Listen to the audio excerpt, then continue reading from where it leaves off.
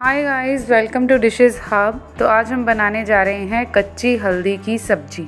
ये बहुत डिलीशियस बनती है और विंटर सीज़न में हमारी हेल्थ के लिए बहुत ही अच्छी होती है, बहुत ही इजीली मिल जाती है मार्केट में।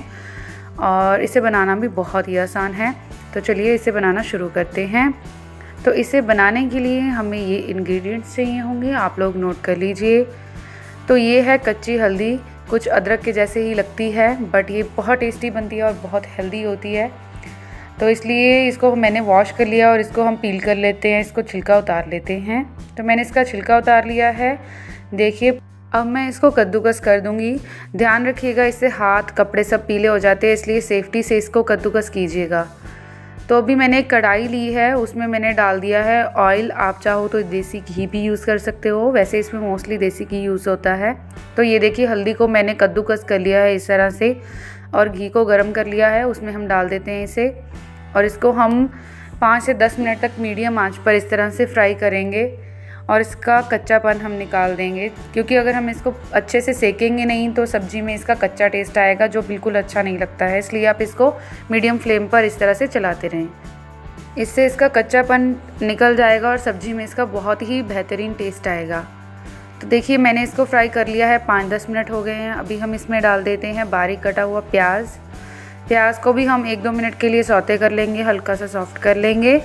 मीडियम आँच पर ही इस सब्ज़ी को आप बनाइएगा। तो इसको भी अच्छे से मिक्स कीजिए और एक मिनट के लिए चलाते रहिए। तो एक मिनट के बाद अब मैं इसमें डालूँगी हरे मटर। ये मटर जो हैं, ये मैंने उबाल के लिए हैं। आप चाहो तो फ्रोज़न वाले मटर भी ले सकते हो। वो पहले से ही उबले हुए होते हैं बट मैंने इनको उबाल के लिया है क्योंकि ये मैंने कच्चे मटर लिए थे। तो इसको डाल के एक मिनट के लिए चलाने के बाद अभी हम इसमें डाल देते हैं टमाटर। टमाटर जो होता है वो सॉफ्ट होता है, इसलिए हम इसको बाद में डाल रहे हैं। ये जल्दी गल जाता है, इसलिए हम इसको बाद में डाल रहे हैं। नहीं तो आप अनियन के साथ भी डाल सकते हो, कोई प्रॉब्लम नहीं है। अब इसको भी हम एक दो मिनट के लिए चलाएँगे, थोड़ा सॉफ्ट हो जाएगा। तो अभी हम डाल देते हैं इसमें मसाले। सबसे पहले हमने डाला है नमक। नमक डालेंगे स्वाद अनुसार, लगभग एक चम्मच। और इसमें डाल देंगे हम लाल मिर्च पाउडर। एक चम्मच लाल मिर्च का पाउडर डाल देंगे। और इसमें डाल देते हैं धनिया पाउडर, दो चम्मच डाल देंगे। और उसके बाद हम इसमें डाल देंगे गरम मसाला, जो इसको बहुत ही परफेक्ट टेस्ट देगा। तो इसको कर देंगे मिक्स अच्छी तरह से। इसको बहुत अच्छी तरह से मिक्स कर दीजिए। ये सब्ज़ी बहुत हेल्दी होती है, विंटर में आप लोग ज़रूर बनाइए, आपकी हेल्थ के लिए बहुत अच्छी होती है। तो ये मिक्स हो गया है अच्छे से। अभी हम क्या करेंगे? लो फ्लेम पे इसको ढक के रख देंगे पाँच मिनट के लिए, ताकि सब्ज़ी अच्छे से पक जाए। तो पाँच मिनट हो चुका है और सब्ज़ी भी अच्छे से पक गई है। ओपन करने में बहुत ही अच्छे से इसमें से महक आई है, ये अच्छे से पकी है। तो अभी हम इसमें डाल देते हैं, क्योंकि हल्दी जो है सर्दियों में खाई जाती है, क्योंकि इसकी तासीर गर्म होती है, हमारे शरीर को गर्म रखती है, इसलिए इसमें हम डाल रहे हैं दही। दही की तासीर ठंडी होती है और हल्दी की गर्म होती है। इससे सब बैलेंस हो जाता है और बहुत ही अच्छा टेस्ट आता है। आप हो सके तो इसमें बहुत ही गाढ़ा दही डालिएगा। मेरे पास थोड़ा पतला था, इसलिए उसने थोड़ा सा पानी छोड़ दिया है। वैसे इसमें गाढ़ा दही डालिए तो ये और भी परफेक्ट लगेगी। तो इसको मैंने तेल में बनाया, इसलिए हम इसमें देसी घी का तड़का लगाएँगे। एक अलग पैन में थोड़ा सा देसी घी डालिए, उसमें डालिए थोड़ी सी हींग चुटकी भर और थोड़ा सा जीरा डाल देंगे।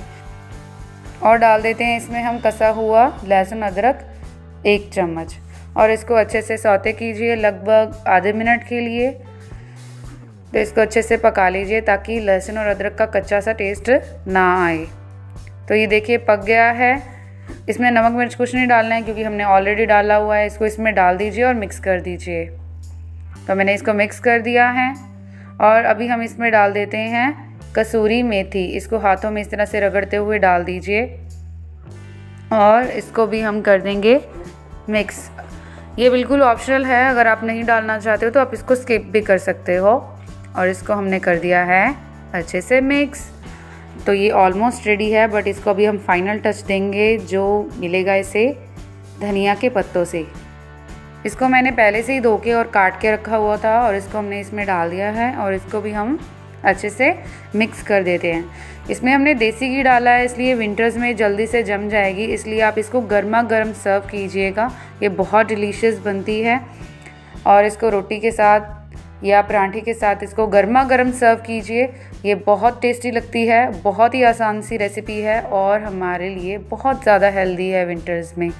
ये सर्दियों का तोहफ़ा है, आप लोग इसे बिल्कुल भी स्किप मत कीजिएगा। आप लोग इसे ज़रूर ट्राई कीजिएगा और मुझे ज़रूर बताइएगा कि आपकी रेसिपी कैसे बनी। तब तक के लिए गुड बाय चैनल को सब्सक्राइब करना ना भूलिएगा।